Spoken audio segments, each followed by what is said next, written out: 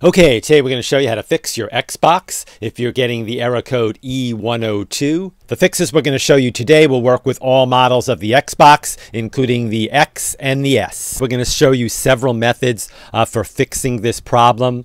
Um, if you stay with us all the way to the end of the video and try each of these methods, uh, there is a very high probability that uh, this problem will be solved for you. Okay, the first thing to try here is really the simplest, and in most cases, this one will actually work, so you might not even need to go on. Simply unplug the Xbox from the wall. Now, wait about three minutes. Now, don't be impatient here. Uh, wait the full three minutes, and then plug it back in.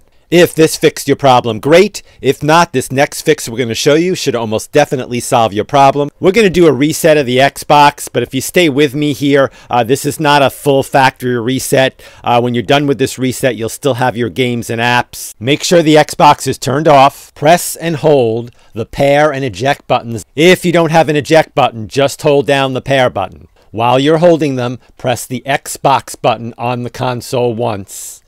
Keep holding the pair and eject buttons down until you hear two tones. A startup menu will appear. Just select Reset Xbox and also select Keep Games and Apps.